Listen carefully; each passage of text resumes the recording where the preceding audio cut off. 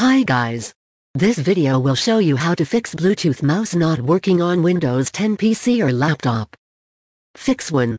Optimize the Bluetooth signal.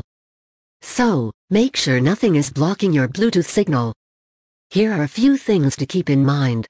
Place your wireless mouse closer to the wireless transceiver.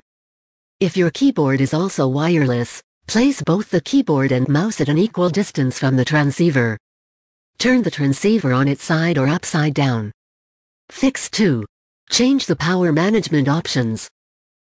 Right-click the Start button, and go to Device Manager. In the Device Manager double-click USB hub device to open its properties.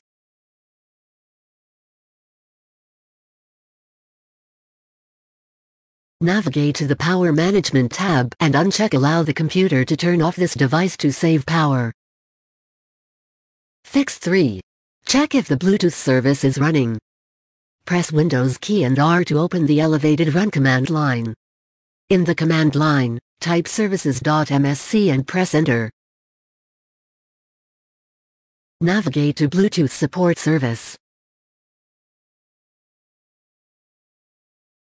If it's set to started, it is fine.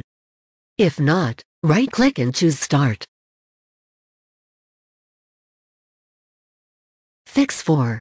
Run the system troubleshooter. Open Settings.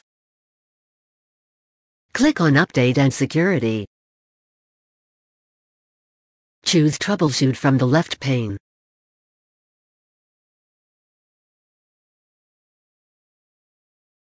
Click on Run the troubleshooter under the Bluetooth icon.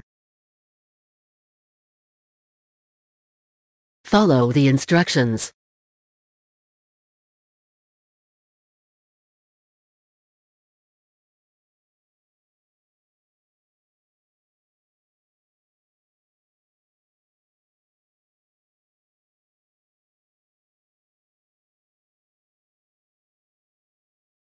Fix 5. Update the Bluetooth driver. We suggest updating drivers automatically by using a dedicated tool like Driver Easy Tool.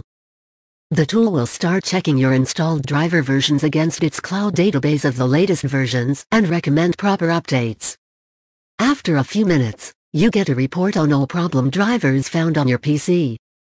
All that's left to do is to check the individual boxes for the drivers that you want to install or click the Select All box from the top to automatically install all recommended updates.